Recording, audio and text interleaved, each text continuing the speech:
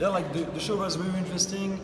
He shared like his memories and everything, like his story, and uh, it was very interesting. And uh, we just want to do the same thing, not the same mistakes, but we can learn from his mistakes and make ourselves better in a better way and uh, to grow like faster. And it was very good.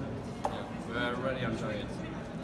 I've learned that uh, risk is a component of danger, but we should always try to uh, have some risk in our lives. So it was really uh, great, and I'm really grateful to have been a part of this incredible show. So thank you very much.